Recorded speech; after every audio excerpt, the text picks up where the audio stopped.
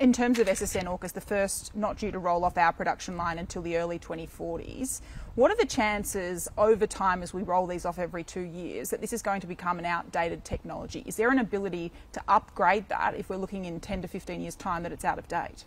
So clearly, with all major capital programs, there is an improvement and an upgrade program that happens continuously. And as we begin to build our first submarine, we'll commence construction by the end of this decade. Clearly, we'd want to be incorporating new technologies, stealth mechanisms, uh, ad- advanced processing in the submarines, com- computing. You know, don't forget that the, the nuclear-powered submarines have a capability to remain submerged and undetected for months on end.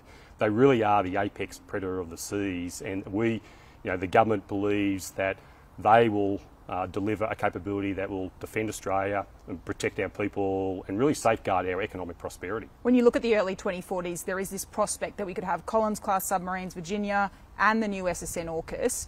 Can the Navy run three separate classes of submarines, or is it in your view we won't actually see that materialise that all three are on at the same time? So the government is committed to doing a LOF type extension of Collins class submarines mm-hmm. and having that being done in the 20s and 30s in conjunction with the delivery of the Virginias in the, in the 2030s, will ensure that there is no capability gap and that we will have a very formidable uh, defence capability, a deterrence capability. And then as we roll uh, off into AUKUS in the 2040s, but the way we constructed the optimal pathway is that many of the technologies that we currently have in Collins, uh, the combat system and the weapon, for example, are the same ones in the Virginia class submarine right now.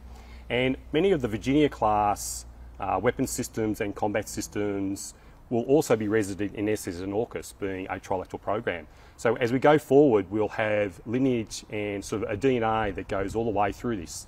And we did this to really to minimise that transition risk. So it's not a problem if we were to get to a stage where we needed all three at once. It is possible because of the similarities. So we're, we're working what this uh, this optimal sort of split of force structure is, but we've certainly factored that into account and we have plenty of time to work out, you know, what is that, that optimal pathway at the moment. But as I said before, we plan to uh, extend the Collins, all six, and get those Virginias delivered in the 30s. Yeah, so on life of type extension, it's your advice to government that all six need to go through it. We shouldn't wait and see until closer to the time? So the government is committed to uh, extending all six of the Collins.